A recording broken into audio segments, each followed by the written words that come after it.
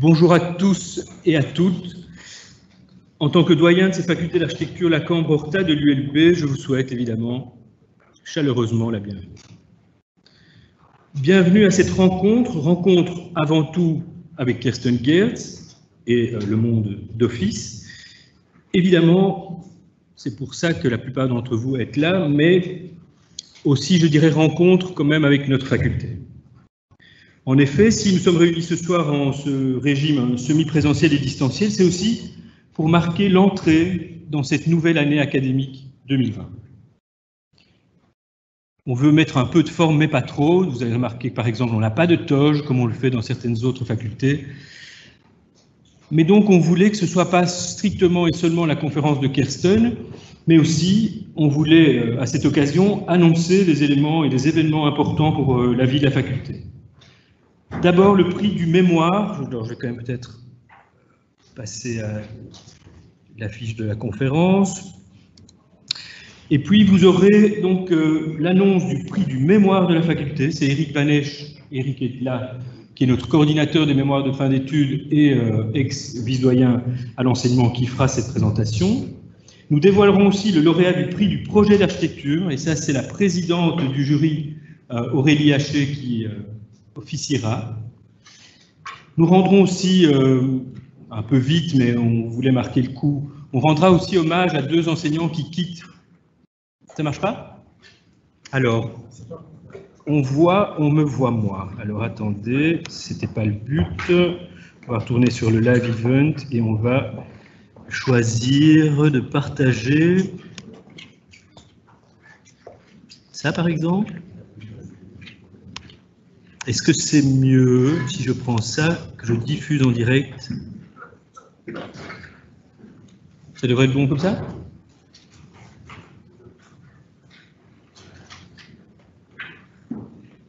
C'est pas encore très grave à ce stade, mais il faut qu'on règle. C'est bon? Si quelqu'un est nouveau connecté ou voit le live event, est-ce que tu peux me confirmer qu'on voit bien? On voit toujours On me voit moi toujours?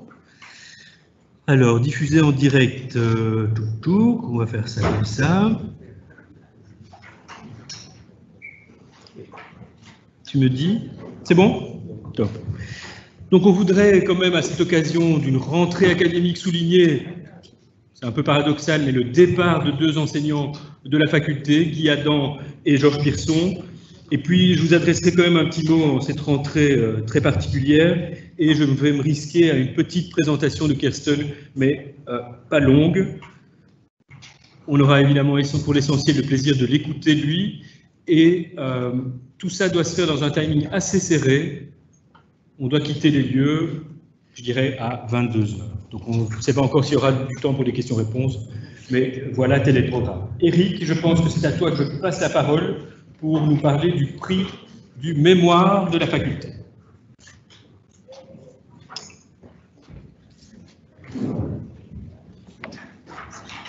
Merci Pablo, avec plaisir. Voilà, bonsoir à tous, merci d'être là, bonsoir à ceux qui nous suivent en, diffusion. Euh, effectivement, euh, chaque année, on organise le prix du mémoire de la faculté d'architecture. C'est un moment assez important pour les étudiants qui ont donc été proclamés il y a quelques jours sur la Grande Place de Bruxelles, mais qui, euh, ce soir, sont concernés par euh, l'attribution d'un prix euh, pour le, mémoire de fin d'études le, plus remarquable selon un jury. Alors, la, première chose à annoncer, c'est que nous avons un, un étudiant qui est hors concours, tellement le mémoire qui a été déposé sortait de l'ordinaire. Il s'agit de Thomas Grec. Thomas Grepp a rentré non pas un mémoire, mais non pas deux mémoires, mais trois mémoires, qui chacun euh, font à peu près 300 pages et euh, qui vont euh, donc explorer le thème des architectures néo-gothiques des édifices profanes en Wallonie, vraiment dans un détail et une finesse d'analyse qui force le respect.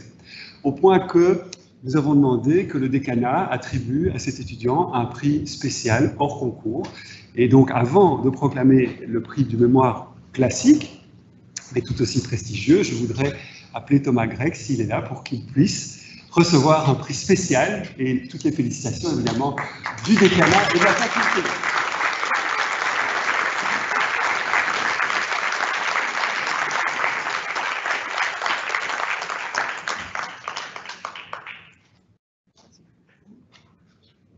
Alors, le prix, c'est un trophée et des cadeaux et un chèque. Est-ce que Thomas veut dire quelque chose? Ah Oui, avec plaisir. Euh, ben, bonsoir déjà. Euh, c'est vraiment un, plaisir et un honneur de recevoir ce prix, surtout pour un thème a priori, et pour ceux qui ont fait les cinq années d'architecture avec moi, est assez peu diffusé et assez peu abordé pendant les études. Et c'est ça que j'ai trouvé intéressant aussi, c'était de pouvoir travailler sur un sujet peu étudié, peu valorisé et qui mérite si vous avez l'occasion de vous partir les, les 800 pages qui méritent vraiment de, de s'intéresser. Donc euh, voilà, c'est un sujet très personnel et aussi particulièrement intéressant auquel je vous invite à vous inviter quand vous voyez un bâtiment néogothique. Merci. Merci. Et bravo. Alors, derrière euh, un étudiant, il y a aussi un enseignant. Donc, je voudrais attirer votre attention aussi sur le fait que ce type d'études sont supervisées par un promoteur de mémoire. Et dans ce cas-ci, il s'agit de notre collègue Marianne Putman. Je ne sais pas si elle est dans la salle. En tout cas, bravo Marianne. On va accompagner ce travail. Les félicitations te reviennent autant qu'à Thomas. Voilà, c'était donc le prix spécial du mémoire de la faculté d'architecture de la Cour Alors, pour le prix, il y a un préjury, parce qu'en réalité, euh, les, mémoires qui ont obtenu au moins 80% sont automatiquement, euh, à condition de recevoir l'accord des promoteurs et des mémorants, euh, mis en lice pour le prix.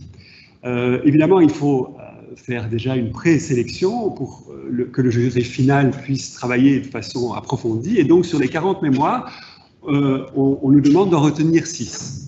Et ce travail, qui est important, a été réalisé cette année par quatre membres internes à la faculté, qui est la composition habituelle de notre préjury. Je remercie infiniment ces collègues d'avoir pris le temps euh, de travailler euh, à cette sélection. Il s'agit de Ludivine Damet, Carlo Menon, Denis Pauls et Anna Povoas. Merci à eux.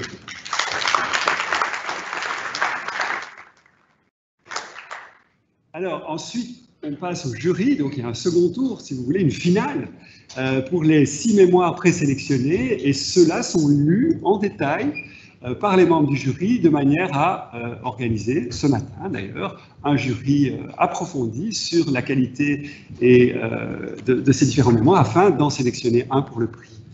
Alors, les trois membres internes à la faculté étaient Géry Leloutre, Grégory Levkovitch et Marianne ce que je remercie beaucoup d'avoir euh, effectué cette mission avec brio. C'était un plaisir de réunir ces membres du jury ce matin. Et trois membres externes à la faculté. Nous avions Christine Fontaine de U-Louvain-Loki, Pierre Loas de l'ENSAB La Cambre et Jean-Marc de l'école de Marne-la-Vallée Paris-Est. Voilà, merci à ces six membres du jury qui effectivement ont travaillé dur ce matin avec moi. Alors, quels sont les six mémoires qui ont été présélectionnés Ce sont donc les finalistes. Alors, le mémoire de Yasmine Alaouzi sur la maison Riffen. Le mémoire de Julia Barnoin sur euh, l'architecture origamique. Le mémoire de Gwenola Bayon de Noyer sur le campus de Charleroi. Le mémoire de Maïté Deschamps sur le patrimoine industriel des espaces pour la transition, le mémoire de Juliette Mourad El Khoury pour euh, l'autoroute sectaire entre Beyrouth et Tripoli, et le mémoire de Michael Pop sur la poésie in architecture, mémoire rédigé en anglais. Alors, une mention a été accordé par le jury à Gwenola Bayon de Noyer pour son mémoire sur le campus de Charleroi, une analyse approfondie de l'évolution historique de la ville, donc d'un point de vue urbanistique, et de l'évolution du campus de cette ville, et enfin une série de scénarios possibles pour le futur d'évolution de ce campus, le tout croisé avec des exemples euh, internationaux de campus. Je ne sais pas si Gwenola Bayon de Noyer est dans la salle. En tout cas, voilà, elle peut me rejoindre euh, ici.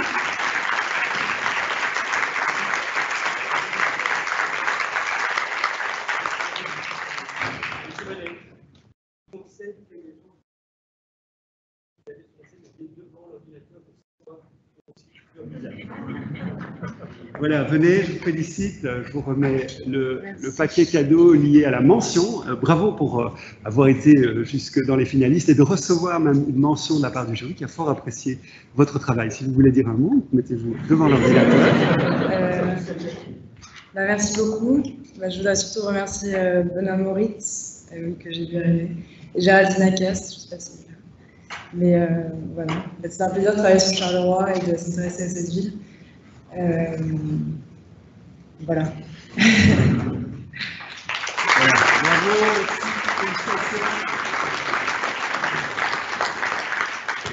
Et de fait, félicitations aux deux promoteurs, euh, Benoît Moritz et Géraldine Lacasse de notre faculté. Bravo. Alors, deuxième information euh, que je voulais vous donner, et le suspense monte, nous avons une deuxième mention. Une mention attribuée à Michael Pop pour un mémoire sur euh, l'esthétique euh, visuelle, les visual studies en architecture et singulièrement par rapport aux techniques de, création de l'école architecturale suisse. Je, résume à un mémoire extrêmement dense qui mêle analyse d'architecture, euh, biographie euh, des architectes, théorie philosophique de rapport à l'image. Je ne sais pas si Michael est dans la salle. Je l'invite à me rejoindre.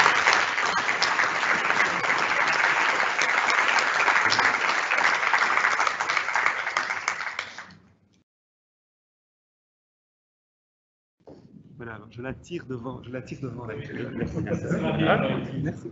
Voilà, Michael, bravo pour ce mémoire qui a beaucoup été apprécié euh, par les membres du jury, un mémoire euh, maîtrisé de bout en bout euh, et qui, qui mêle, je dirais, une, une capacité théorique à une capacité d'analyse de terrain et des travaux des architectes tout à fait singulière. Félicitations. Merci.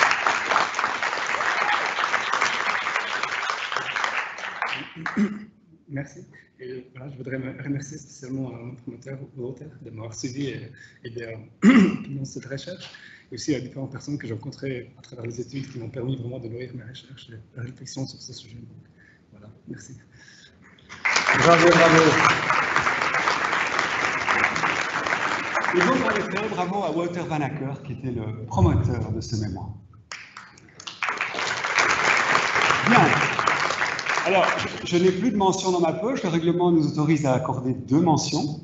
Donc, maintenant, je vais proclamer le prix. hein, le, le grand vainqueur de la sélection ce soir, c'est Yasmine Alaouzi, qui reçoit le prix du mémoire.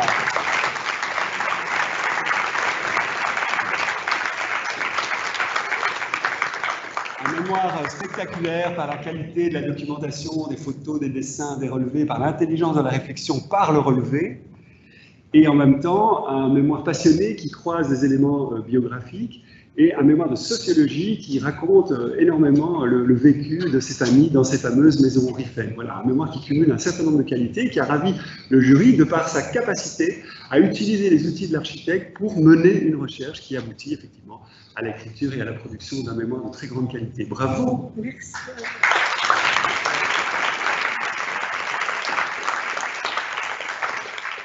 Je suis très contente. Je me sens très émotionnelle. Je je pourrais pas m'exprimer très bien. Mais euh, un tout grand merci à mon promoteur euh, Bertrand Perlinet.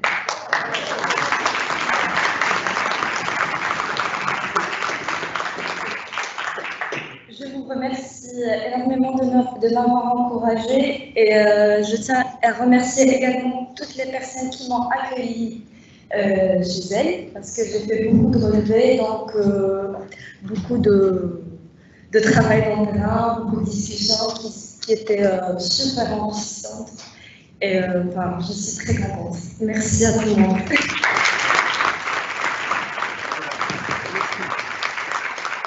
Félicitations, bravo, bravo.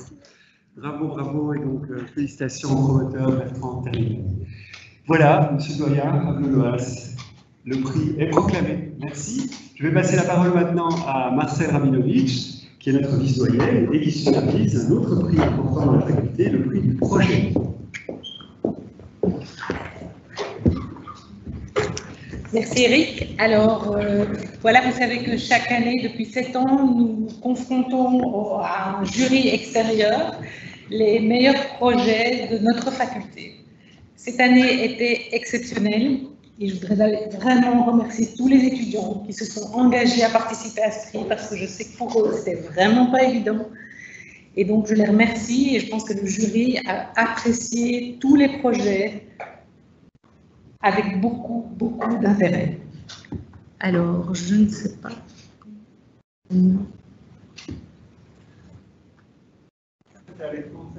Ah, ok. Voilà, donc en fait, vous voyez à l'écran les 14 projets que le jury présidé par Aurélie Haché, qui est à côté de moi et qui va proclamer les résultats, euh, elle était accompagnée dans cette lourde tâche par Aloïse Beguin de l'Université de Liège et par Sarah Kremer qui représentait les BA1 et Gregorio Carboni Maestri va gentiment faire le rapport de ce prix. Voilà, je vais céder la parole à Aurélie parce que je pense que c'est qu'elle nous fasse le compte-rendu des résultats. Bonjour à tous. Voilà, je ne pense pas avoir la qualité d'animateur euh, qu'a pu avoir mon prédécesseur, mais euh, euh, j'en suis pas moins contente de pouvoir assumer cette tâche aujourd'hui. Euh, donc à mon tour, je voulais remercier tous les étudiants qui ont présenté euh, aujourd'hui. Donc la journée a été vraiment belle et intense, à l'image euh, vraiment de la dédication qu'ils ont déjà pour, pour l'architecture. Donc on a choisi donc pour le prix de la faculté le projet donc ah, d'abord l'émotion. donc Tiens, comment ça se fait que ça C'est dans l'autre sens Voilà. Peut-être ça va dans... peut-être comme ça. Jouer alors. euh, Ou bien avec ça, ou bien avec ça, normalement. Ça donne Pas. Ok, on recommence. Ça a l'air un peu bloqué. Alors, on va recommencer. Tchouk, tchouk, tchouk, tchouk. Escape. Ouais, allez-y, parce que le truc a l'air mort. Ah, ah, ah. Attends. Voilà. Si vous vouliez. Ouais, voilà, voilà. Euh, J'étais trop loin, j'ai dévoilé une partie du secret. En effet, l'animation est un peu euh, chaotique. Euh, mais donc voilà, on voulait euh, donner cette mention euh, notamment à Isabelle Marchal. Donc pour vous qui allez rentrer dans la vie professionnelle, on voulait souligner par ces mentions l'importance, donc comme le disait, disait Georges Perec, de pouvoir surtout lire un lieu, de pouvoir le re-questionner pour euh, ensuite pouvoir se l'approprier. Et on trouvait que justement dans toute sa démarche, dans cette façon qu'elle a eue euh, de pouvoir euh, lire des références, les réinterpréter pour les réinsérer dans, son projet, son projet était, était exemplaire. Donc Isabelle, je ne sais pas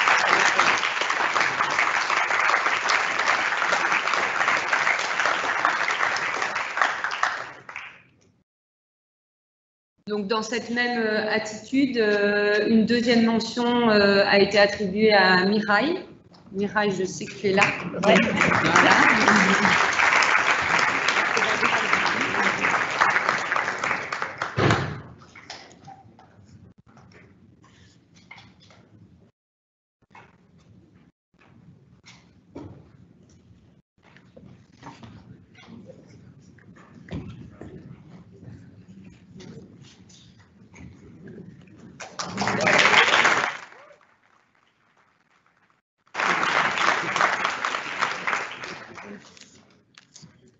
Et donc aujourd'hui, nous avons décidé d'accorder euh, finalement le prix de la faculté à Alice Paris. Donc euh,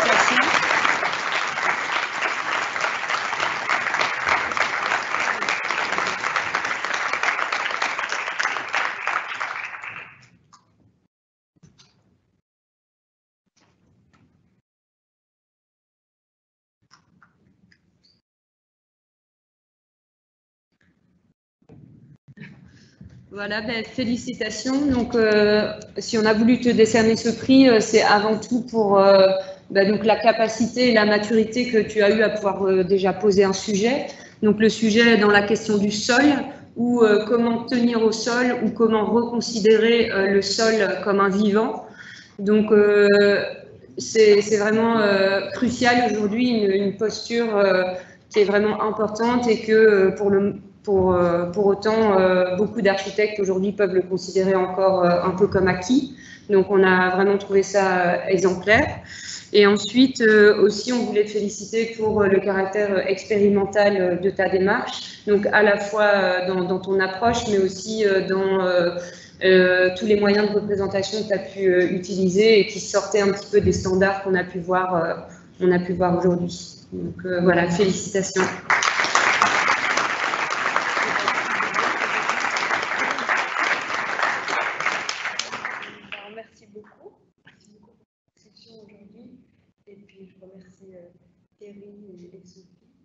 l'atelier UP avec qui je me suis beaucoup, beaucoup amusée cette année. Ah ben c'est principal.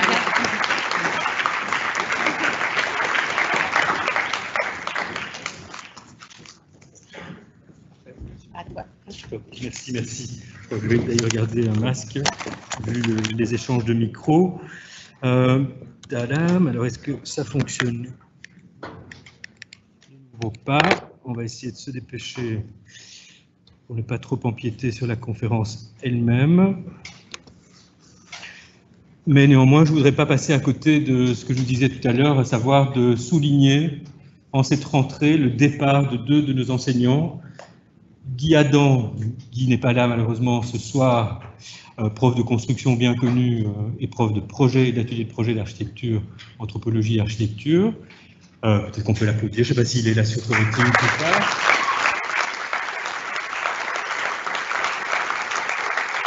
à gauche, la photo de ceux qui ne connaissent pas. Et puis à droite, une autre euh, vraiment figure importante de notre faculté, Georges Pearson. Georges qui a fait énormément de choses pour la faculté, que ce soit euh, dans ses enseignements, de la géométrie descriptive au projet d'architecture, à la coordination d'ateliers de projet, qui s'est aussi investi dans des fonctions assez ingrates, mais néanmoins déterminantes pour la faculté et pour vous les étudiants.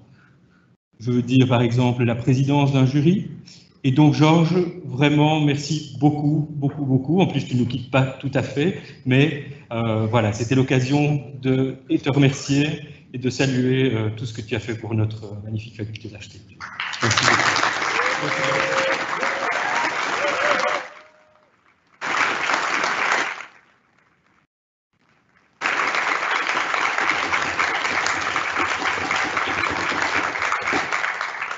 Outre ces remerciements à Georges, je voudrais quand même, euh, en cette rentrée, euh, profiter de cette occasion pour remercier tous nos collègues, quel que soit le corps auquel ils appartiennent, parce que figurez-vous qu'à l'UNIF, on parle encore de corps comme si on était à l'armée.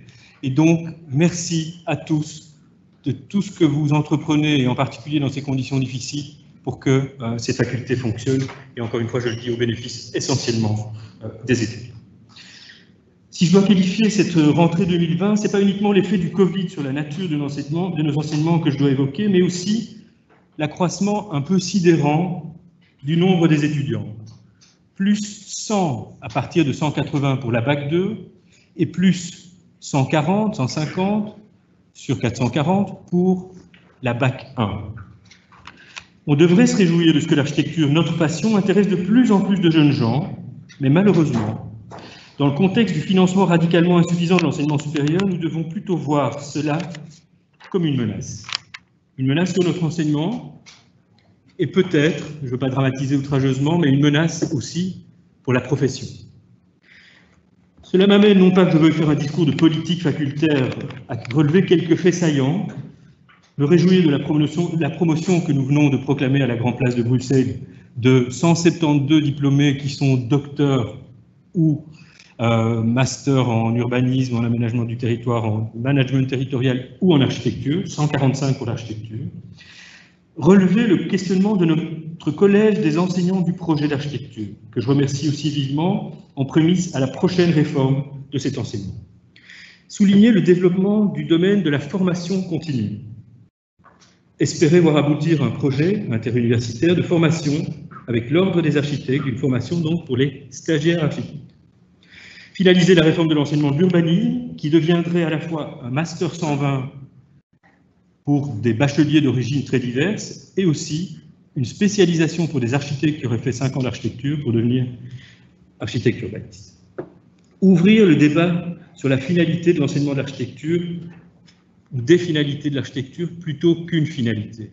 Je pense qu'on est à un moment crucial où on doit se poser cette question, est-ce qu'on ne forme encore qu'un type d'architecte? C'est aussi favoriser les collaborations, que ce soit avec l'Université de Mons, l'Université de Liège, la Haute École Charlemagne, dans la formation d'architecture du paysage. C'est aussi cultiver nos partenariats internationaux. C'est consolider la recherche en et par l'architecture, recherche fondamentale et recherche appliquée, en continuant notre travail de conviction auprès des bailleurs de fonds de la recherche. Et développer encore, c'est peut-être une chose très particulièrement importante pour nous, notre rôle d'acteur culturel, que certains d'ailleurs nous, nous dénient, de rôle d'acteur culturel, et cette conférence de Kirsten l'illustre parfaitement, et notre mission, nos missions de service à la collectivité. Voici en quelques mots les enjeux qui traversent aujourd'hui notre faculté d'architecture. Je vous avoue que je suis particulièrement heureux aujourd'hui d'accueillir Kirsten Geertz, et ce, pour de nombreuses raisons assez variées.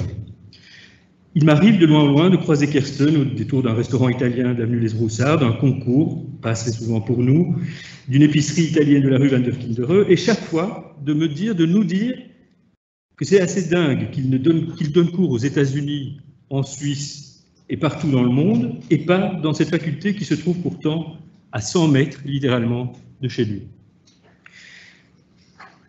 Donc, cette conférence est une première initiative de collaboration plus nourrie, j'espère, avec euh, Kersten, et on en est donc particulièrement ravis.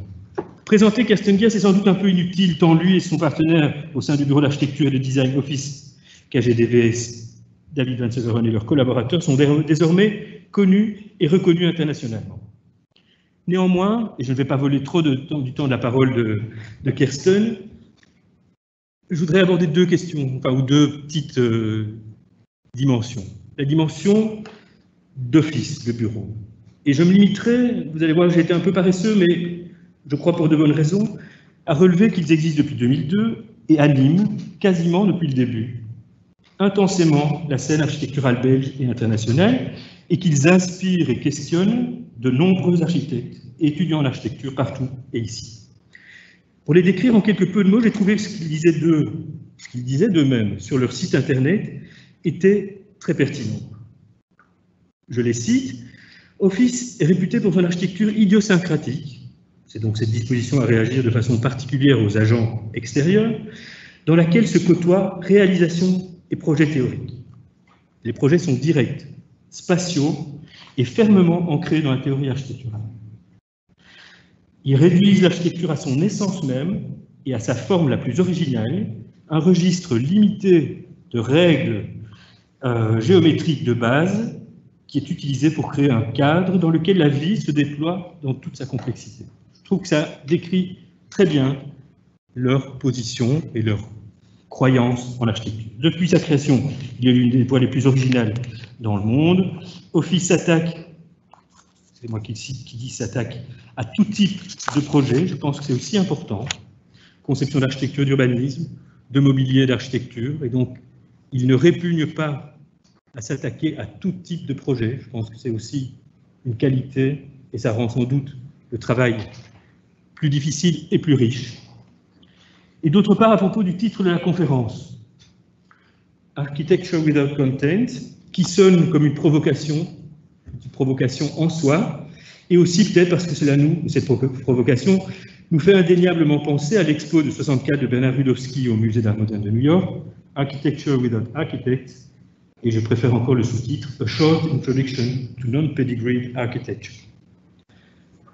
Architecture Without Content est le titre d'un livre dont Kirsten Geertz est co-auteur avec Yoris Kritis, Yelena Panchevac, Giovanni Pioven Dries Rodet, Andrea Zanderigo, livre paru en 2015, dont l'éditeur Bedorf Press parle assez bien aussi.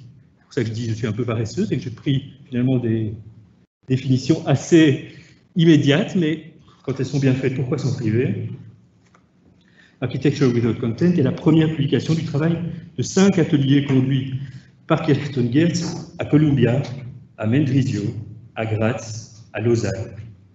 Partant d'une étude de, de Big Box, un grand bâtiment industriel qui pourrait contenir beaucoup de choses, le studio, les studios Architecture Without Content, développe l'idée d'une possible architecture du périmètre, une architecture pragmatique, pardon, qui reste radicale et précise. L'architecture sans contenu est une architecture réduite à son périmètre même. Seule l'économie de l'enveloppe détermine le succès du bâtiment. Sa frugalité radicale ne le rend pas moins critique. L'économie de moyens est l'arme de choix pour exprimer son idéologie. L'architecture sans contenu est trop grande pour être ignorée. Toute chose aux accents très colassiens, qui témoignent de cette particulière qualité de Kersten de jouer avec finesse et intelligence de cette double, voire triple vocation d'architecte praticien, d'architecte enseignant et d'architecte théoricien, théorisant efficacement à partir de ces diverses dimensions et échelles de la discipline architecturale. Vous aurez compris pourquoi, au-delà d'autres proximités, nous avons souhaité que ce soit Kirsten Gears qui ouvre notre année académique. Je laisse donc enfin la parole à Kirsten, que je remercie très, très chaleureusement d'avoir accepté notre invitation. Merci beaucoup.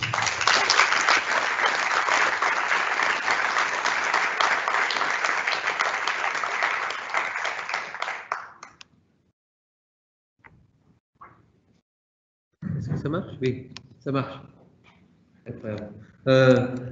Merci Pablo. J'ai plus rien à ajouter, je pense. As fait la conférence. Merci. Euh, la bonne chose, c'est que vous avez juste entendu tous, euh, tout le, disons, le summary euh, en français. Maintenant, je vais faire la partie un peu plus longue en anglais, si ça vous va. Après, c'est vrai que je peux même parler en français, mais j'ai annoncé en avance que c'était en anglais. Donc, les, les, quelques gens qui sont venus parce que c'était en anglais, je, servir. C'est normal. OK. J'enlève ça.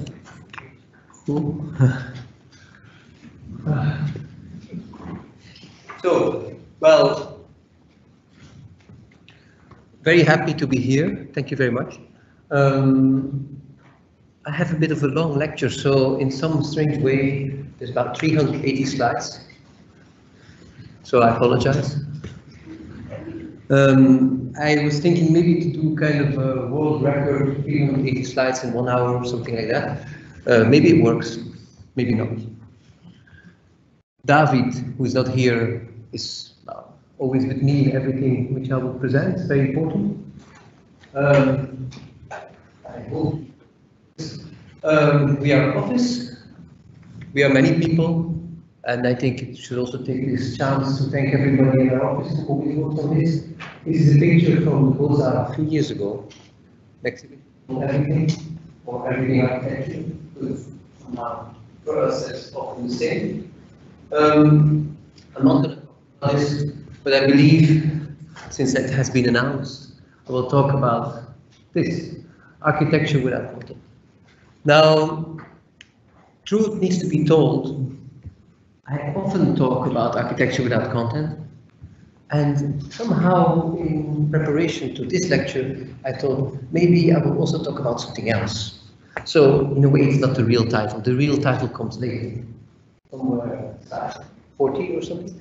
Um, now, architecture without content, however, since we're in the school, and I was very happy to be part of this ceremony, um, is also in a big respect a project of education.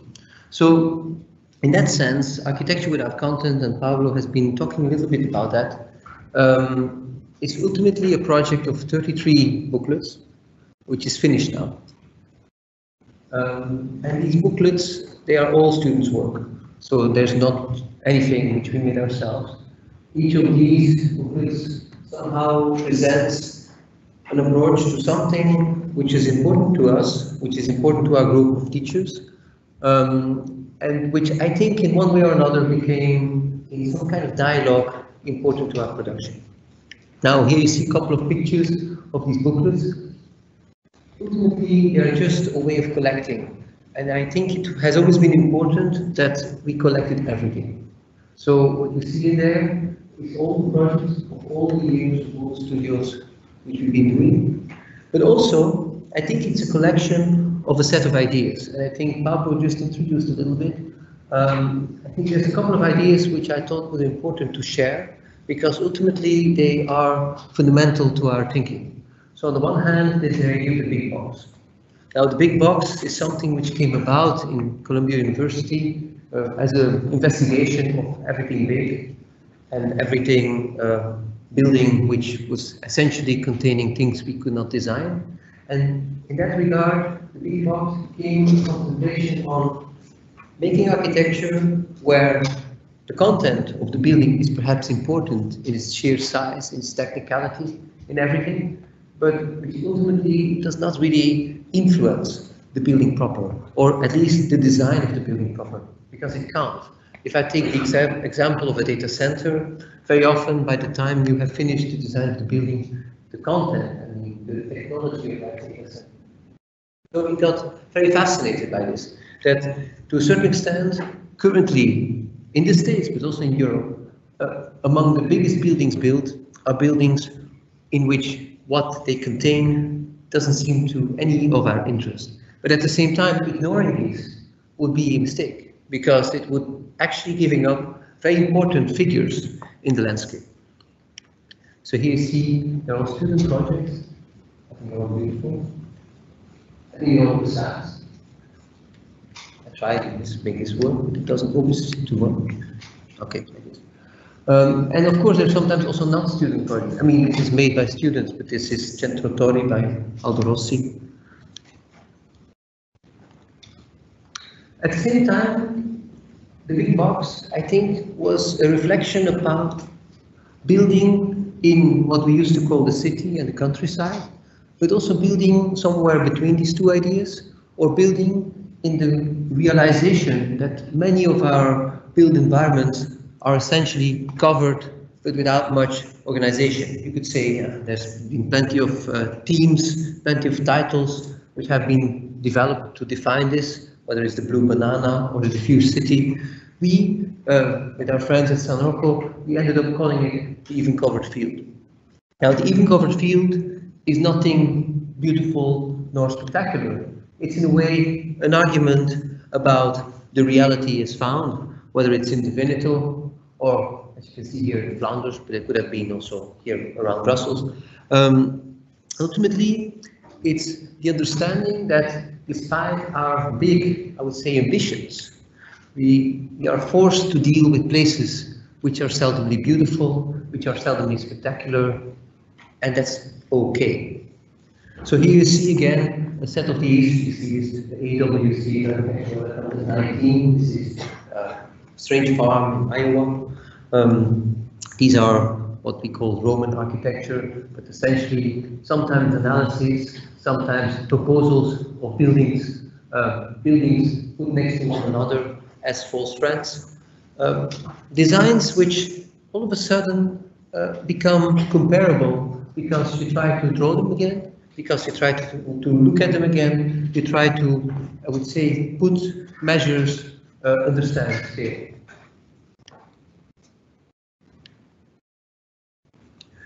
So with these ideas of trying to almost reenact a Roman idea of architecture and urbanism, an idea of territory, an idea of gesture, an idea of scale, I guess we came also to the problem of what the architecture project could be. So for us in the studios, this became the difficult whole. Again, the difficult whole, we did not invent this idea of a building. The difficult whole is essentially uh, as I guess most of you, if not all of you know, uh, this thought, this idea developed by Venturi and Scott Brown in Complexity and Contradiction um, towards the end of the book, where they discuss the thought of a complex and for that reason difficult whole being potentially the only answer to um, let's say a context which you cannot control, an architecture which only refers to itself by means of what you could say inflection.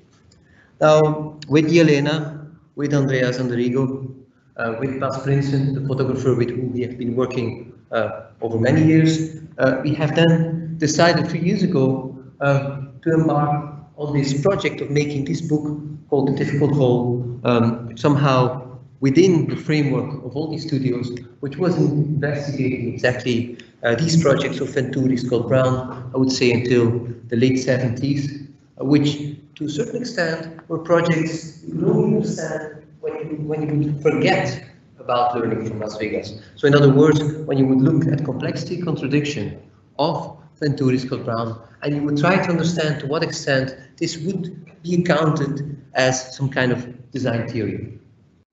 And here is what kind of resulted in. Bas went with us and photographed some buildings like uh, the mother's house, Philadelphia, and it's very beautiful um, fire station. Now, the last element I would like to share with you uh, is the idea of the classic. So perhaps it's already vaguely present in the thought uh, of uh, Roman architecture.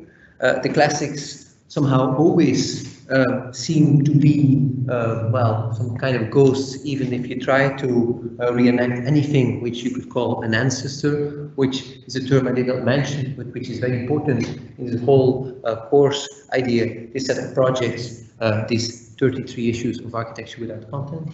Towards the end of the series, we were explicitly busy with the classic, whether it was first through Ungers and through Ungers through Schinkel, or it was even, say, back to Bramante or back to the Sangallos.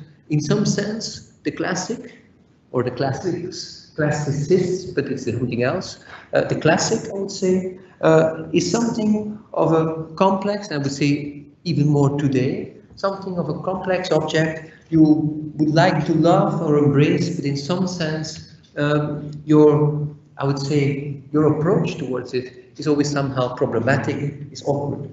And in that regard, Trouble with Classicists, which is of course um, this famous title of this uh, song by Cale and Reed uh, on uh, in Songs from Drella, which is uh, an album on Andy Warhol, um, became our leading motive. So in that sense, not the classic, but perhaps the problem of classicists, so what comes after the classic, but also to a certain extent condemnation about, we say, the the ambiguity, the dishonesty, perhaps the misunderstanding, which is often, I would say, at the base of the architecture project. So here um, we see the famous Virgil by Alberti, uh, of which, I mean, it's not the only piece, but almost all his architecture in Firenze at that time, in the 15th century, was essentially looking like that. It is very specific, black and white, you could say, uh, figures and graphics, essentially when he was making this architecture,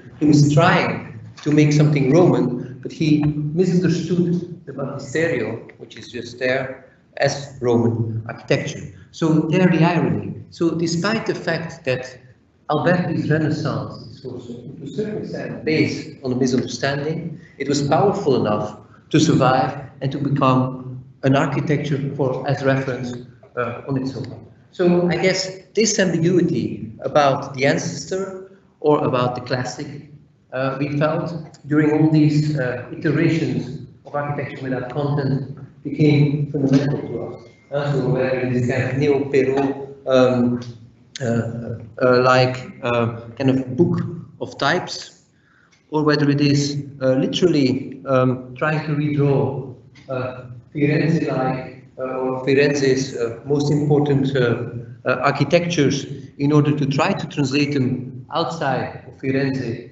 as contemporary schools in the full knowledge that as much as you can love these references, you cannot do anything even really similar to these because current Firenze, um, current uh, suburban context around Firenze forces you in thinking otherwise. So that kind of strange dialogue, that kind of um, I would say, in a way, failed, failed embrace that ambiguity, I believe, is was important for us there.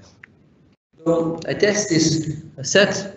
I finish here with uh, a very bizarre uh, issue of architecture without content. I think it was number 27, which is in a way, you could say, uh, our uh, constructed monography of the Sangallo brothers uh, architecture practice. Uh, well, it's actually uh, two nephews and one, well, two brothers and one nephew, Antonio, Antonio Younger and Giuliano Sangallo, of which we claimed it was, to a certain extent, the very first contemporary practice.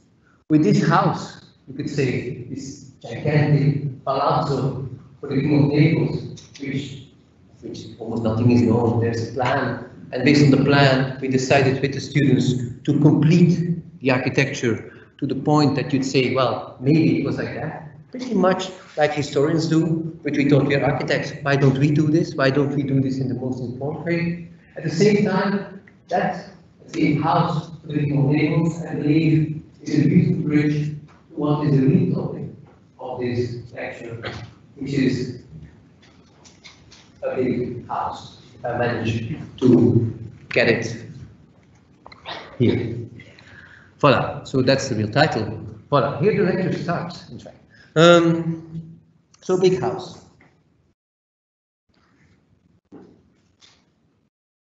I guess a big house is related to architecture without content in that it comes afterwards.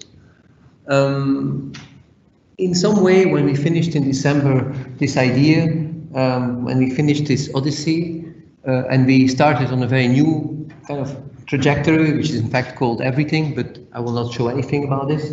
Uh, I also think that slightly our interests shifted, but of course, it's not true that all of a sudden everything is new. I think it's rather a different point, a different vantage point, a different perspective. So here, Big House is, I would say, a lecture in which I want to collect a number of projects of our office. Um, and each of these projects are dealing somehow with this problem of house, of course, to a certain extent with the idea of a big house, um, I think house on itself has issues with, I would say, privacy, intimacy, and big house is maybe, maybe uh, a thought of having a house bigger than other houses, with which I mean that um, maybe the big house is to a certain extent the idea of the public building of something collective to point in places which are not the city. So in a sense that uh, it might not make much sense to approach something in the field, something outside what we consider the core city, and say, I now I inject it with something crazy, public, representative. No, to a certain extent, the big house, I believe, is a reflection upon the thought that the big house has more thresholds than what we consider the public building has. It has uh, more to do, more in common with a house, but it is not really a house. So for that reason, I mean, quite randomly, well, it's not entirely random, you could say, I simply use the order of office numbers. I want to show you a projects which start dealing with house, and then gradually, more or less, deal maybe with the big house. The house. So if one house is emblematic, maybe, of our own production, it's perhaps this one, so here on the left. Um, it's a house in um, uh, Buggenhout, which is in, well, in the outskirts of Brussels, you could say. It's in the Flemish fields, at the same time, Buggenhout is a proper village. It's a house which is made with two times nine rooms and a perimeter, I think the particular aspect of it is that the perimeter is uh, not coinciding with the site. And the other particularity is that all rooms have the same dimension. So I guess there, what was important for us is to try to see to what extent an idea of intimacy, which is extremely important to house, uh, can be translated on all levels, but without I would say, holding back to the cliches uh, of the small versus the big. So here, to a certain extent, every room has the same dimension, 4 by 4 meter. Um, the garden uh, is this rectangle which is made by this, this uh, perimeter of metal uh, sticks. And together uh, they make a place which seeks distance from the neighbors. Oh, well, sometimes hard distance. Uh, sorry, uh, distance from the neighbors, but does not really fundamentally give up that place. So for us, was important that the new, I would say, hedge of the terrain to a certain extent is read uh, as the figure, the rectangle which belongs to the house, which turns it essentially into a court house, two courts, front and back. But at the same time, of course, uh, the distance created is something of which the status becomes ambiguous. Do we give it back? Do, does it still belong to us? Is it already part of the neighbors? You don't know. And I guess that sense of ambiguity between that what you clearly claim and that what you slightly give up became important to us. So that ambiguity also by being very strict in drawing lines, but ultimately understanding, and I believe Pablo was referring to that, that the way you actually use these figures, use these spaces, will rest always personal, ambiguous, private. So here you see that, you see the house below, which is this made out of uh, cinder blocks, painted white, and the top, which is made out of wood. It's the same plan, but the wood has a different thickness from the cinder block walls, from the mineral walls, and so to a certain extent it feels very different. You can also see the house as a one-floor house with wooden roof, because in a way the rest is roof material. And so, but the roof is turned into kind of a square, into kind of more blocky uh, volume. So here you see that, you see the two spaces, one below, one above. You see how simple the house is. You see that it does not take any single consequence out of specific uses of spaces. A bathroom is the same um, as a room, which is an either a living room or a bedroom, anything. The house is now already, I don't know, 12 years old, 14 years old, I don't know. The people still live there. Their two daughters have grown up quite a bit, of course. I mean, they're teenagers, um, so they use the house differently, but they're still happy. So here you go, that's the house in the last picture. And I thought it was important to share this because I believe this negotiation of lines, of borders, of perimeters, of organizing kind of spaces, of thinking also about a kind of scale that fits all in some strange way, size that fits all, sorry, uh, was important. This house is literally a house in, in many respects. It's perhaps the most evident big house in that it's big enough to be yeah, bigger than average. It's kind of house in so much that this building in Bahrain, um, well, we often call it dar. Now, even that's slightly confusing. Dar is house, but dar refers rather uh, to. Um,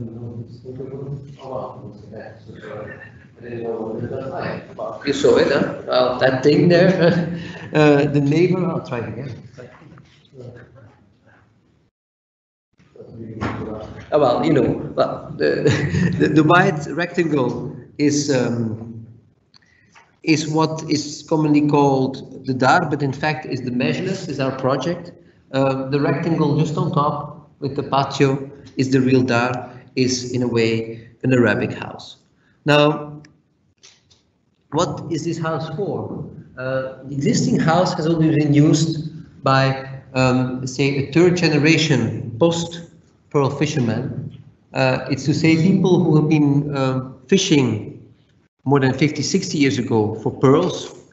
Um, this pearl fishing doesn't exist anymore, but while they were doing this, they were making this clapping music somehow on the boat because they were together for quite some weeks. And when they were on land, they they stuck to doing this. They gathered together, the whole boat, so to speak. They made this music. Uh, it became something of a tradition.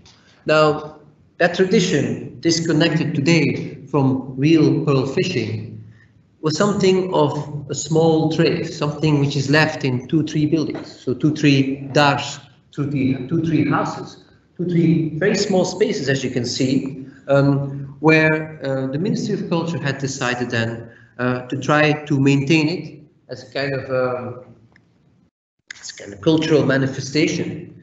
So in other words, uh, to, to buy these houses, restore these houses, keep the houses and keep them using it. Um, one of them was the one here you see on top. We got involved, we in a way restored that house, that dar, and they also asked us to extend it with a more public program, of which I think they initially thought we would add it to the building. but we thought that was a bad idea because if you want to keep such a private thing alive as making this music uh, in this small group of people, perhaps you would kill it by inserting a far more public program.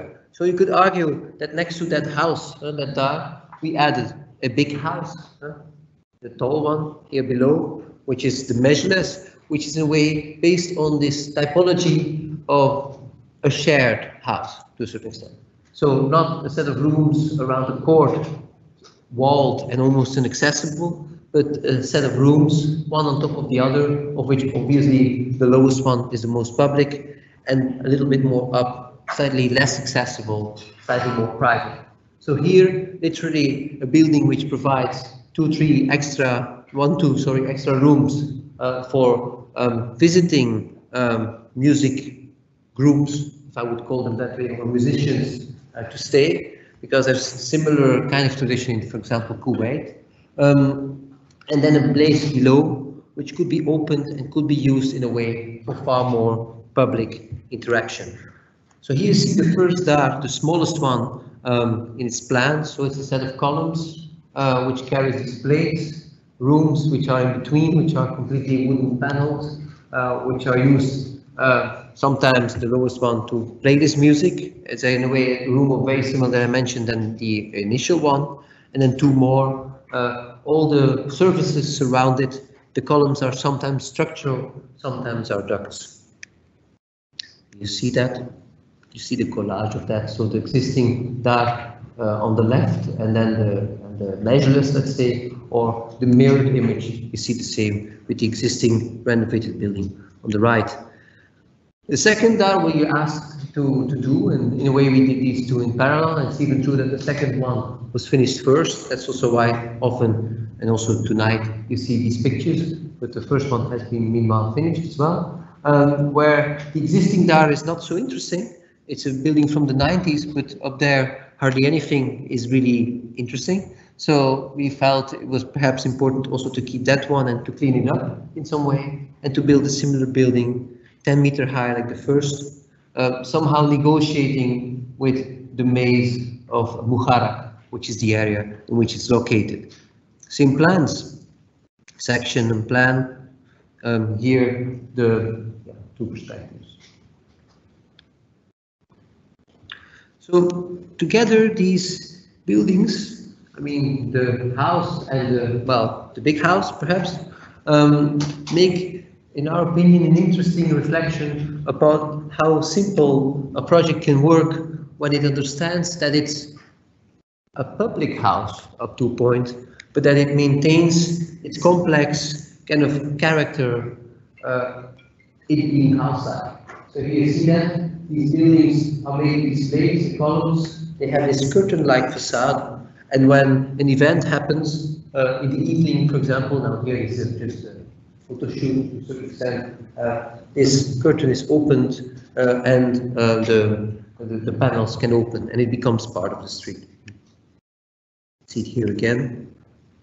Here you see that inside this box, this box which is even between the columns, uh, allows, since the lower part is not perforated, uh, um, the players of that music to even sit with the back against the wall. And in a way, that house type of space is just one, one big room for music.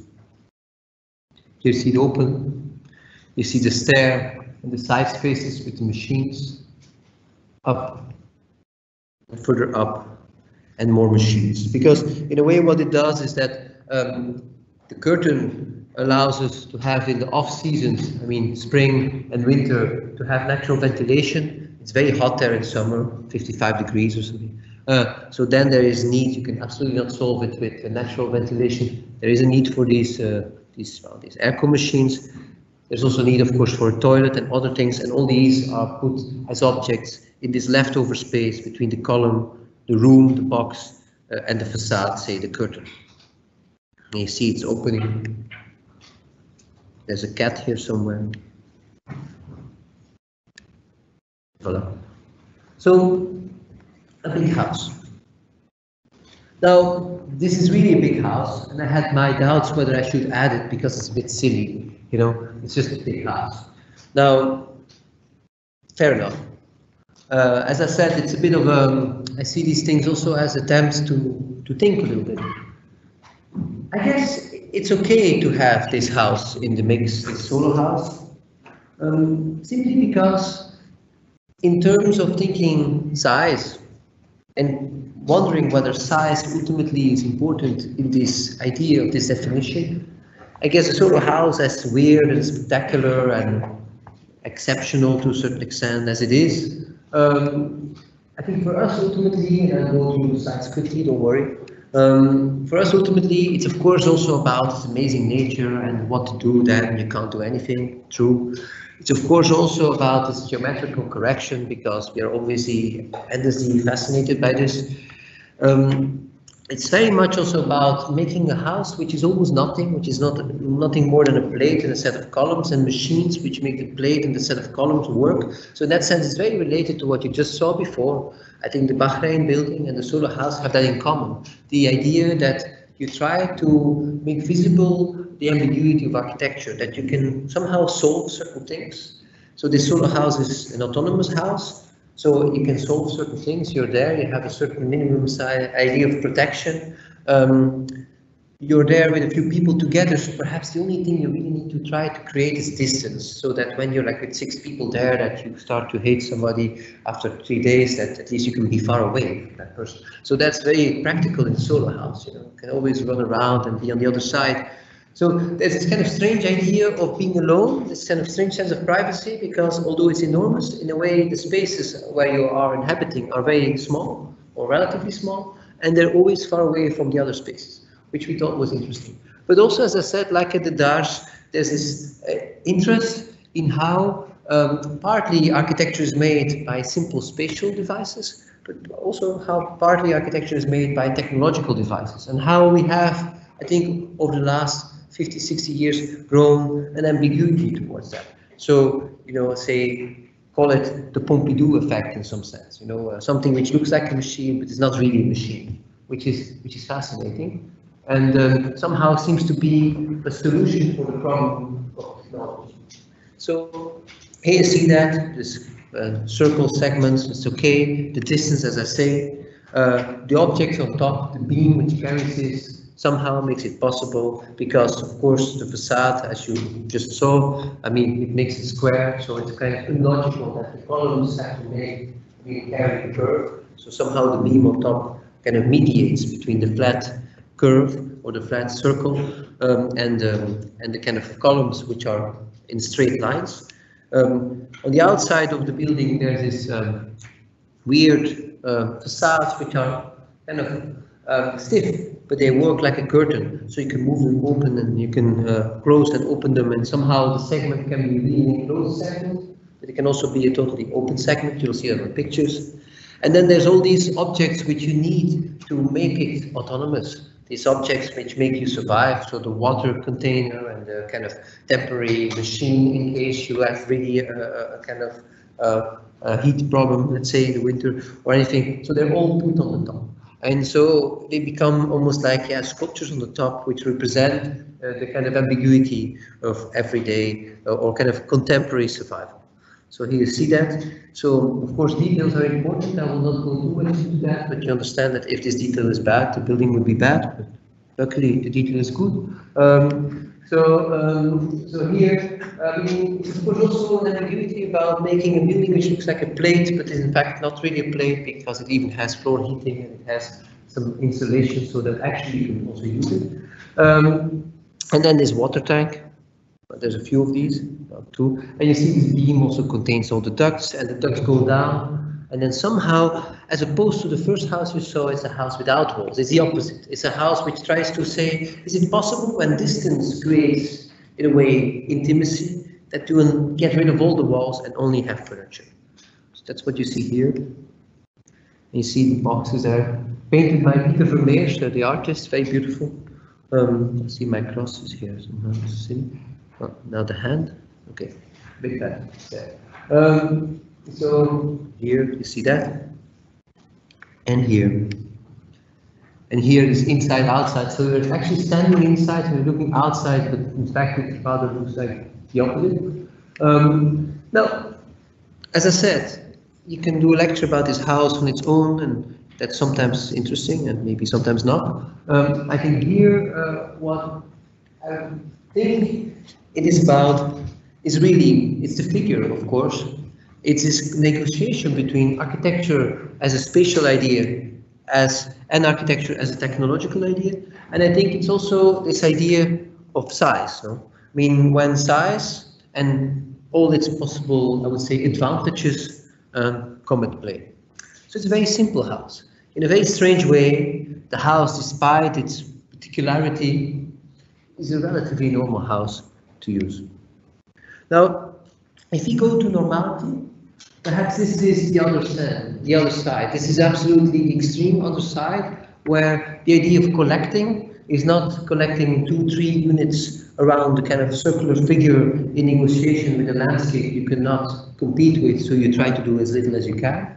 But this is rather trying to see that collecting in some sense is also an idea of, of sharing. I mean, collecting literally, uh, having something collective.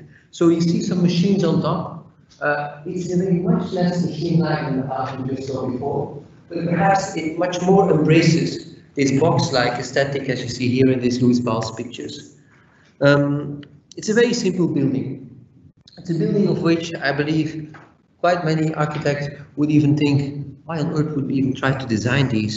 Uh, it's a big box, but it's not even big enough to be fundamentally big. You know, it's in a way a small big box. You know, it's kind of as far as we could get in the realm of big boxes. To try it small first and see if it comes later. So you see that here you see a Flemish semi-suburban uh, village-like condition. Uh, there's some houses, some suburban houses. There's some boxes because they had one day decided to do an industrial site because it would bring, I guess, some tax money or something.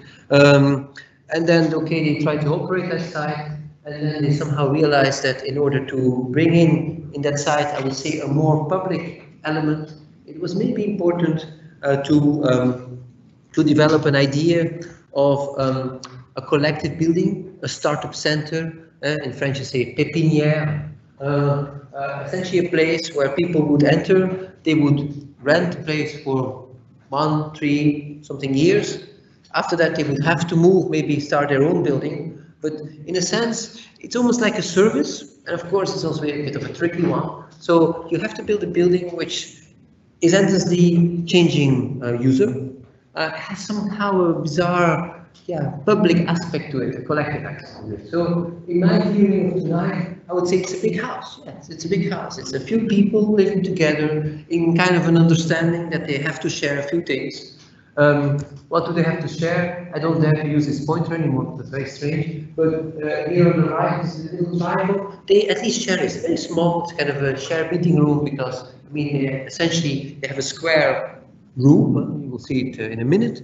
Um, they have actually a kind of strange hidden parking lot, which is this park we see in the back. And then they have this kind of triangle, which is a shared meeting room, so that in this time they're there, uh, they can have people around uh, with who they meet uh, outside of their workshop. Because of course it's a of startup center, so it's in a way a set of boxes, small, very small big boxes grouped together as a slightly bigger small big box somehow. Um, and um, anyway, it's also a building uh, understood as a simple shed. It's just one shed. Uh, it's a shed uh, facing the north. Has a big window, one half of the nine meter half, one half as you see there. And then it kind of plays an idea with the idea of being kind of bigger than it is, because as you saw on the plan a little bit, I guess this plan comes again soon. Um, it's um, it has this kind of slightly twisted, twisted angle. So here you see the big, well, the small big room, which is the yeah, the atelier, the, what what these people then rent. Uh, we designed exactly that. The column, column carries the building, part of course from the two walls, uh, a little floor in there, a toilet, a space below, a space above, a big window. So to reduce the amount of light you use, important. Um, and so to make it yeah, economical, ecological, um, simple, pragmatic.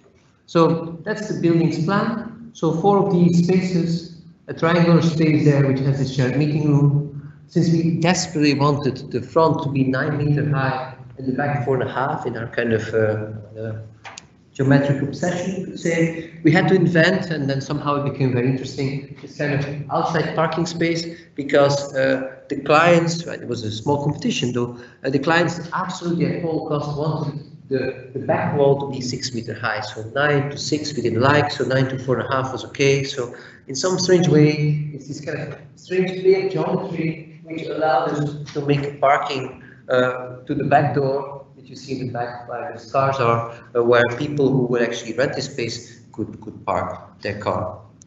So here you see that, you see the back with the doors, the meeting room on the left, the front, the section. And actually, yeah, the building as it is, it's in a way uh, a very simple uh, span with a column uh, uh, you imagine it to be one where the stairs around one is the back wall, and then the sticking out space where the cars park. And then has weird things, you see it in there on the left and top, and in there on the, on the right and the bottom. The top one is totally necessary. It's actually a one meter uh, fire kind of uh, kind of protection uh, device. It's just a plate which I'd say high profile, which makes sure that you can make two different compartments. By copying it in the back, it becomes in a way uh, the architecture.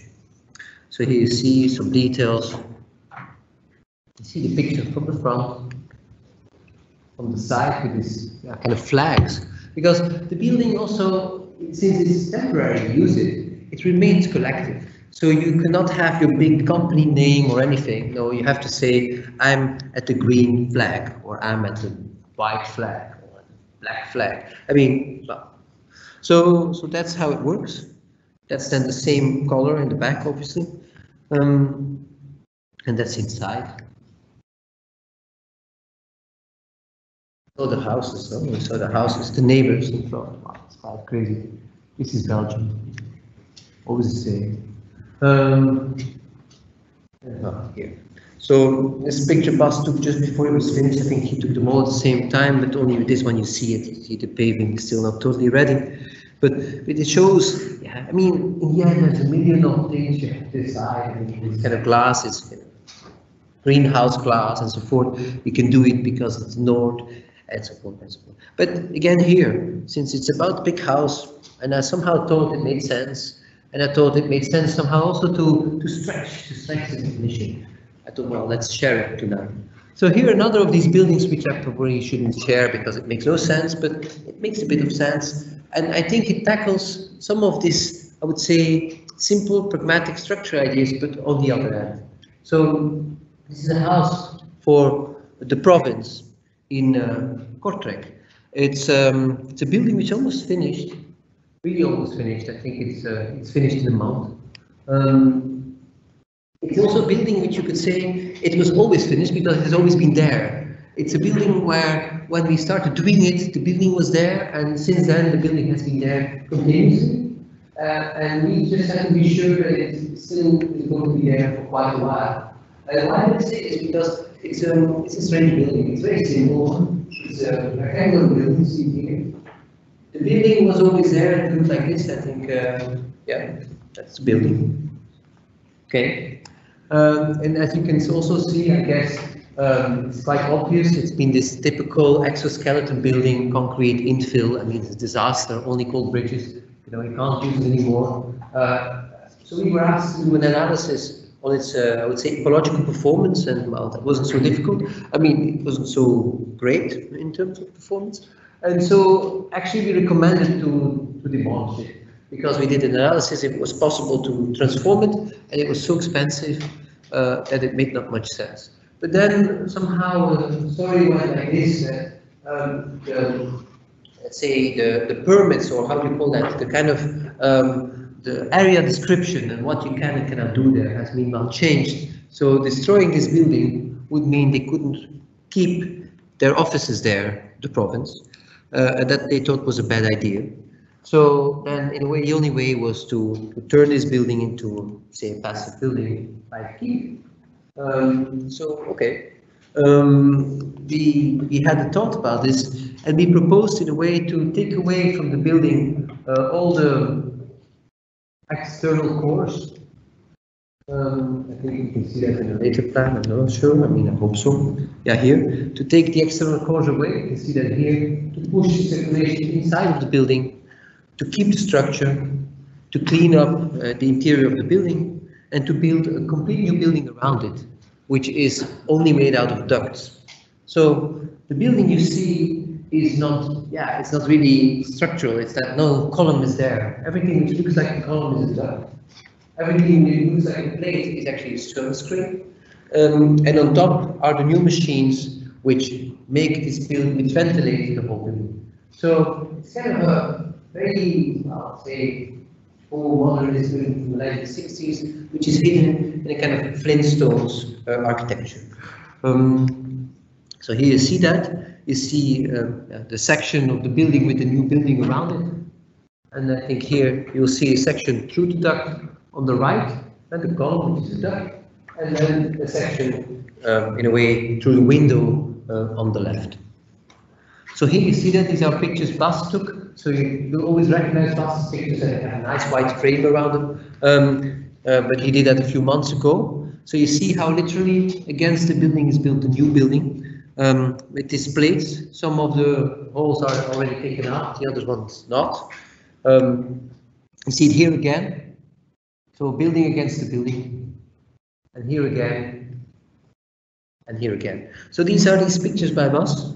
And then I thought I'd add a few pictures of the last weeks of the building now, but of course they don't have the same quality, but they show you somehow how it develops. So there's this, see here, almost there. So you see the glass is in, and the glass goes as high uh, as the new building. So in a weird way, it makes the other building with other columns and everything. You see. Um, you see these plates, which sometimes are balconies, very, very rarely so, and then they have uh, glass uh, circles in them, but all the others are remain open and are like that.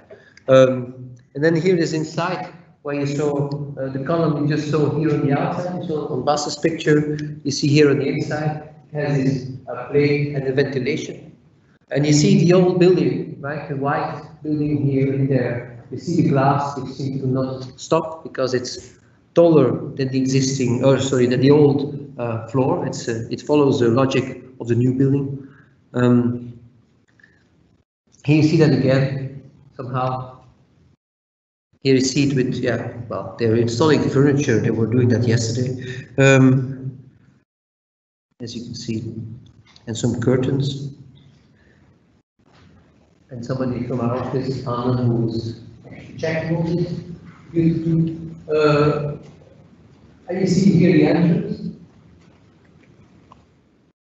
And you see it here again. So, I mean, I guess the reason why I thought it was not so stupid to put it behind the uh, solo house and maybe somehow in the slipstream of the Bahrain project is that it's building is ultimately, it presents itself to be building about structure, column plate, but it's not about that. It's a building about machines, which is in a way what Bahrain also is about, or Solo is also about. And at the same time, like the Bahrain big box, is nothing more than trying to find the most pragmatic solution for, in a way, a very contemporary, almost non-architectural, I mean, there's no program here, right? I mean, I did not talk about what's in there, it's the province. I mean, in a weird way, it also doesn't matter what's in there. I mean, it's, actually, it's a very particular part of the province. It's uh, um, people come there uh, when they have certain issues in the family. So, I mean, it's important, but we don't know whether that program will be forever there. So here, a project of which the program will probably not so quickly change. It's certainly a big house. It's a 50 by 50 square. It's a square uh, plate, a table, uh, close to a standard, the square is tinted, you can see the roof, it's important, like a naturemort, uh, a still life. We developed together with Richard, we, Richard Venlet, with who actually developed the whole building.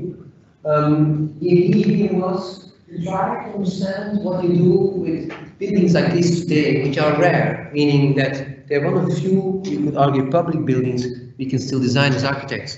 So they're a new type to a certain extent. They're crematorium, Crematorium is, you know, very much, it's not the same, of course. It's a far more pragmatic version of a part of what the church also was. But it was not, it's not just that. I mean, it's also for a far wider group of people.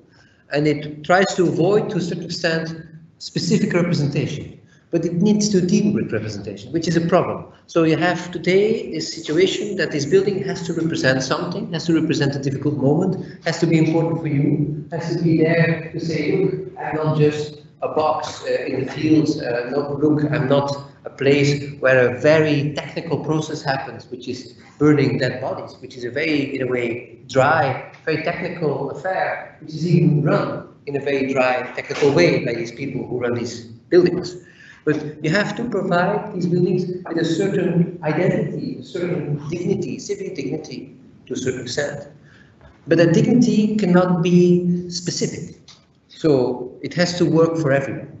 So from that perspective, we try to develop this building, which I think for crematorium is far more explicit, stranger than the crematorium, at least crematoria, sorry, I've been visiting in the last years. Uh, it also tries to avoid this terrible collection of greys and browns and whatever you always see. Um, and it's this big plate, this nature morte, with these columns around it, which are in a way organizing um, a set of parallel spaces which look at the landscape designed by Bas Here you see that. And which you always approach here on this side from the right. We approach it like that. We approach it frontally after you've been driving around in some way. We approach it. And then you have the sequence of spaces. And the sequence of spaces in which the spaces get higher over the length of the building. Get also in a way more private. In the sense that you arrive, there's two family gathering rooms or friends gathering rooms to the top and the bottom here. Uh, there's offices in front, people not to see. Then, if you go through this very thick wall, there's the two main spaces for the services. And I mean, the way they see these things that these services often happen only with half an hour, 20 minutes difference. So there's a service on the uh, here below, and then there's one above, almost at the same time. You walk in and you can walk out uh, immediately to the outside, have only the lower part. Uh, and of course, these services are heavy, are emotional, so you need air, so you're still protected. You walk out, you take air, you get out in both ways. And you, I mean, there's condoleance, condoleance place there, there's family room, even more. So even behind the wall, in both cases. And then the building gets higher, still equal, and that's where the, the ovens are, the machines are. These are very high spaces. On the top there, where the ovens and the machines are, only a few people can go. Only a few people can follow, three, four people uh, close to the person can go there. That's, that's, that's the habit, that's how it works. Same time, the other spaces there below, the very left, that's where machines are. Because of course this obsession with crematoria is that despite the fact it's a burning process, the idea of smoke is unthinkable. So you have to clean the air clean the air clean the air. So at the same time, people who still are buried uh, and cremated after, um, the church service, they will be brought uh, and these hearses, uh, these, big cars, uh, in the back. And these cars they drive in and drive out, but of course it's not something you want to see when you're in this service. So you have a kind of almost machine-like idea of from the, the left, and a very uh, process-like, um, very kind of subtle, a very uh, personal kind of experience one should try to organize uh, from the right. So here you see that section somehow what I just explained. Some views, a model, pictures here by Stefano Graziani of the model. So you see it as, as the figure, the high and the low parts, the table tilted, the object on top, which are light objects, are in a way a hidden chimney object, also uh, are light holes, lines for water and stuff like that. The different, the parallel uh, spaces, yeah, the execution plans, and the same uh, sections, see spaces, this uh, kind of strange dome or semi-dome things on top. The perspectives we made together with Richard for the furniture and the piece, which here kind of uh, makes kind of niche. Again, non-nominational, but of course of a certain weight. I believe you could only do this with Richard to get something kind of a form which is so specific yet somehow not engaging. And then these parallel walls, as you see, always with uh, infill, uh, with different, uh, it's actually kind of textile for sound, of course, absorption, and have always these specific colors, and then the top light. Mm. Here, the highest space is where the, the, the, ovens are, and then the other side, which is not in perspective, which is in a way in sheets. Here you see the building now quite quite close in a sense. I think this was on the poster here. Um, this big plate, parallel walls. The vertically some Bas pictures uh, with uh, the holes, the walls, the light.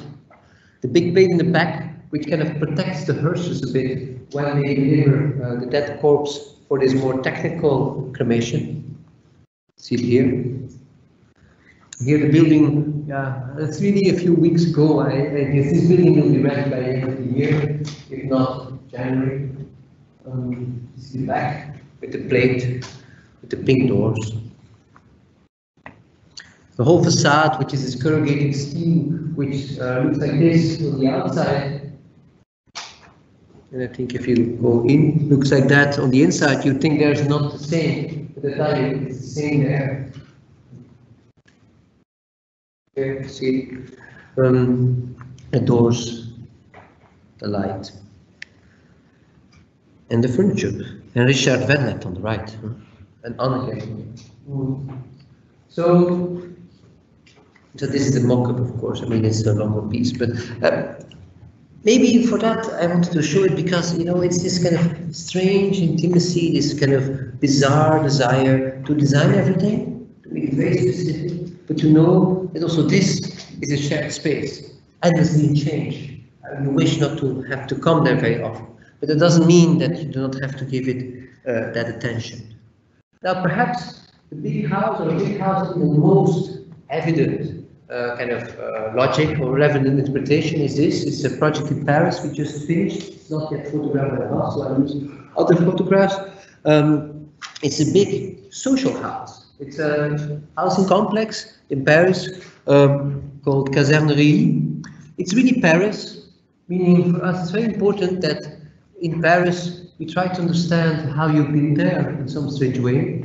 You do not try to uh, make a crazy object, which is a kind of a test of your own insanity, but rather try to, in, a master plan like H2O architects, we got there and they just this, this site on the side here, um, which is kind of a or so of this whole densification of the whole caserne, which is these three buildings, one, two, three, you see, uh, in an attempt to turn it much more into an urban piece, but also, and I think it was an important correction which we made very soon into into the to the project, to, to keep these figures, these three buildings, in what they were. I think the initial master plan suggested to build against these buildings. So around our area, we proposed to cut the buildings loose and make this kind of strange, kind of, I would say, composition of proximity, where all the buildings which we would add would be as close to the to the to the existing uh, um, wing of the of the caserne, which by the way also was turned into housing, uh, as so as to make a kind of a set of intimate spaces, but that with an extremely reduced vocabulary. So what is this vocabulary? Here you see it, I think.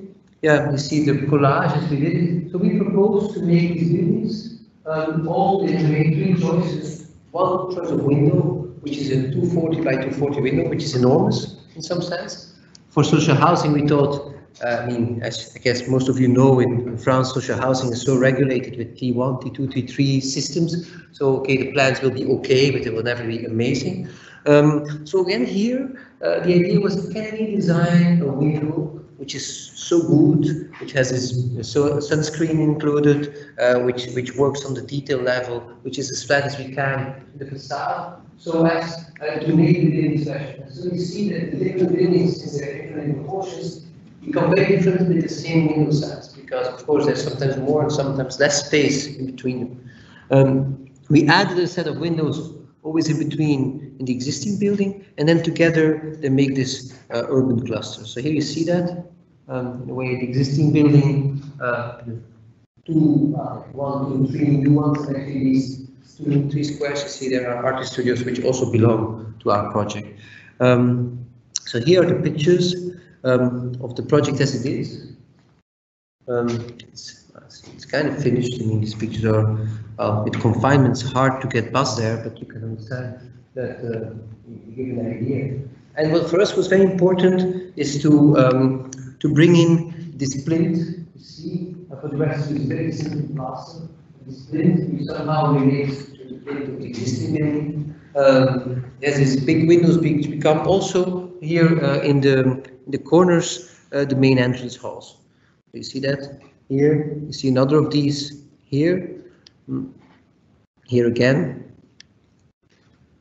And actually the other one is here around the corner.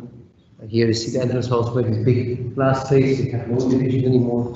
That's where the entrance halls are here. And here with work uh, by um, uh, Gregory Carroll and Daniel Devoire, uh, who, um, who turned into special places. I mean, it seems like I'm not at all following my own idea of being faster, I go faster. So very big building exists, it's also a house in some sense that it um, tries to deal with the problem of suburbia which is surrounding it, pavillionaire. Um, it tries to deal also with the problem of the big and the small. It's four big boxes trying to organize a very big working plate. It's the RTS in Lausanne, you see it here, you see models in that sense very beautifully telling. You have the buildings of campus, if you have you have all these small houses, you have the learning center, and you have this problem of negotiation and how you can make some kind of place in this. It took six years to do it. I mean, to do it in the sense that to get to the point where we can actually say, and these are the construction plans that are actually building it. Um, but now we are. Um, and of course, if I would have more time, I would explain you much more about this. That doesn't matter. I mean, I think it tells a story of how a building, uh, again, which I, I hope you understand that also, uh, this is an idea of, and I think that has been the evolution also of this building, is these four buildings, and they are so simple, they have a very similar idea of facade of the one that Paris House have been talking about. It's even, say, Stone Milano plaster, has the same windows. And then they carry uh, this plate, which perhaps in every regard wants to be exceptional. So that's what you see here inside.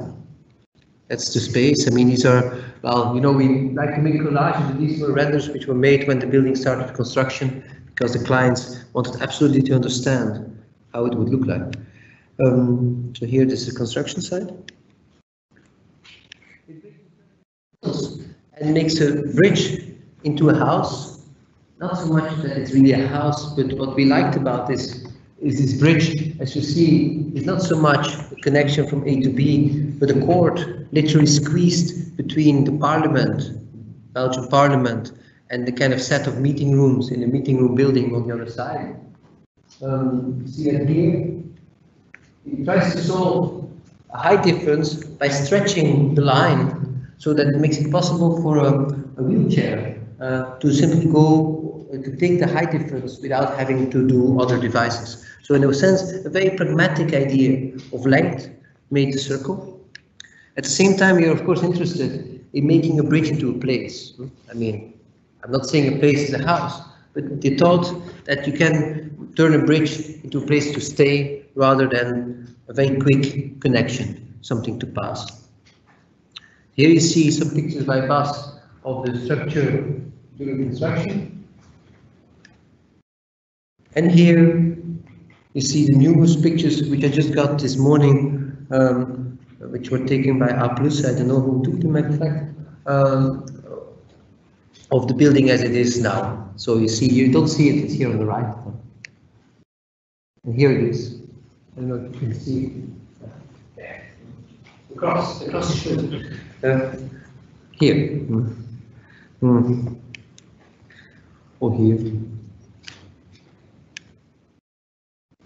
This circle, this space, and I'm really kind of close to the end, kind of close to the end, um, um, brings us to this idea of a space with a court as perhaps the ultimate idea of a big house. You know, a place which is not want to be public in as much that it makes a gigantic gesture, like that bridge. I could have said that. The bridge, you can only see inside when you're under it. You can't see anything otherwise. I think that's a kind of idea of engaging with the public which we really start to like. And that's where I wanted to go to. So here we go to that. This is a library, a library in Sint-Martens-Latem. Competition we won, we now will soon start building, luckily. Um, it's a very simple figure. It's a circle. It has a court, as you can see. Mm. Here you see it again. There's a court.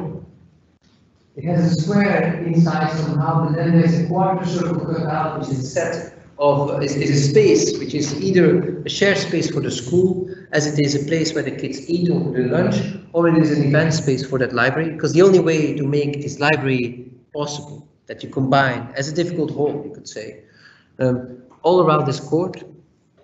Here you see that.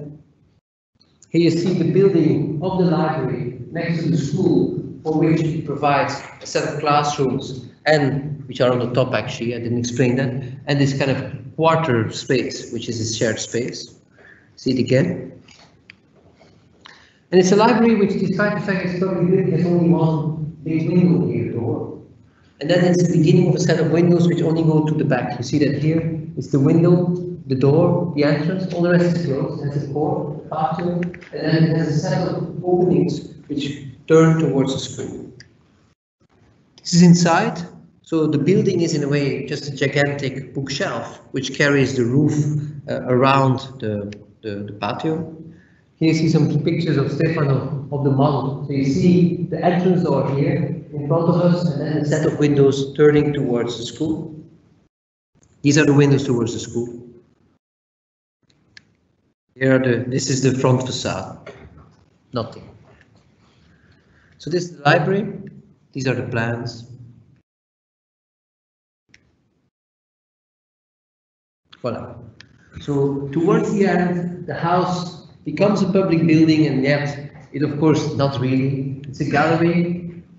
A gallery which is a set of rooms, one next to the other. It's a gallery which always sells out before it opens, strangely enough. So it becomes like a small museum in a part of the city of Antwerp, Antwerp South, where essentially there's currently nothing. It's the only semi-public space. Hence I thought it's so close to this weird idea of this big house. It's in a way a place owned by Tim Van Laere, it's Tim Van Laere Gallery. It's his house to a certain extent. It's a storage, it's a set of um, drawers with uh, lives and uh, he doesn't live, he works there, all the time. Two real exposition spaces and a court. It's in the middle of this big development, all made out of uh, prefab elements so we thought it was extremely important to make something which is made in situ, to give it a different idea, like a whale, like an object which is stranded, something completely other from the other buildings, from this, in a way, typical housing mechanism. It's a house with the central windows to each of these rooms, which are white on the outside when they're open, and so depends on the inside when the windows are closed, but pink on the outside when they're closed. It's also a space uh, with these uh, wooden beams and sheds on top. You see them here uh, for, for beautiful light. But it remains in many ways a house with a storage, with a front space, with an entrance space, a working space, with a private space, with all this, with a, even with the terrace.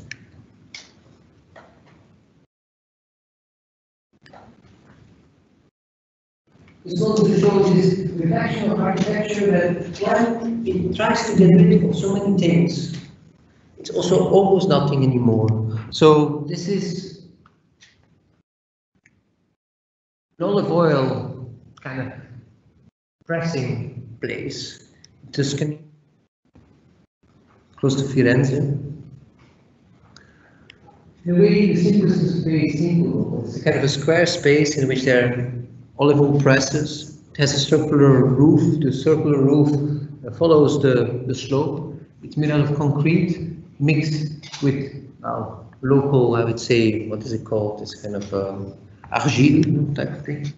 Um, it's a place which is made to press the olives, which are all planted, these olive trees. And when they plant the trees, what happens is that many stones, many pieces of stone are there, and they don't know what to do with them. So we proposed to make it a table, in a sense, where they move, they put all these stones. So you see them here, all these pieces, which are simply gathered uh, when they plant trees, are part of the building. The building is just a concrete plate on a corrugated concrete square. It's nothing more than that. Looks a bit like a moon there. The people who made this, this, this thing, I mean, it's competition we won, they're kind of obsessed by biodynamic kind of uh, olive pressing, let's say. So somehow they were fascinated by this moon shape. I must say we didn't even realize. But okay, fact that it has this bizarre idea of representation, that it shows something we didn't really know. I find it ultimately of architecture to a certain extent that you, you have this figure, totally abstract, very simple, box-like, but evocative. Now, this idea of evocation, of thinking, of representing something, embracing representing something, almost Venturiesque, if I can say, but at the same time restraining from it, refraining from it, saying, look, we show but we don't show, is perhaps, and maybe here I can finish, the most present in this current project for the beer project um, here in, uh, in Brussels, the Belgian Beer Project Brewery, competition we won some years ago, which we will start building now very soon. We have a contractor. Very simple big box. A losange shape, as you saw somehow, has a pitched roof. It's very tall, you see that here? You see person. It's really tall. I don't know. Like, I don't know how tall it is. 15 meters. Stop. It has only these vats, which are not, of course, like we see in the wheels, these amazing vats. No, it's a very simple industrial vats, but they're beautiful too. There is metallic vats. They're all assembled there. That's how they brew beer. They're all below that roof, which is this pitched roof, which, well, I should go back one second, which makes a kind of beer garden or a very special shed space on that side, on the left here, and in a way becomes the, the figure of the building everywhere else. It's almost like a tent. For us, it's a building, losange shape, as I said, with tables inside, with a tent-like roof, the tables, tables with all these devices, the tent-like roof, the tent-like roof. Almost like these tents you see on the Schinkel pavilions, you know, these kind of figures with the stripy tents, and of course, I guess this beer project has all these strange beers with strange colors. And rather than representing a few beers, we just took some of these colors and some others, and we make our own color code in some sense. So it represents the beer project, but it also doesn't represent the beer project. It also represents Schinkel. It also represents the tent. It, it deals with these strokes, these ideas of making the most industrial buildings also the most light uh, of them all. You see that? See this, this is actually the model. See from the big doors we finally look out. Now in the final version, which I think is better, is really the building as it will be built. Um, this yeah, stripy tent-like roof, these big vats, the tables on these stands. On the side, and again, and again. And only with these pictures about Strinson's uh, model for the like to finish. Maybe only because it shows the ambiguity of representation. So it's a model of a pavilion that ultimately very, very small pictures of Bruegel's um, um, Tower of Babel, of course, um, enlarged to the point that they start to compete with nature.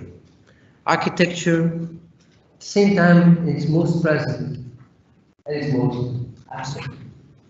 Thank you very much.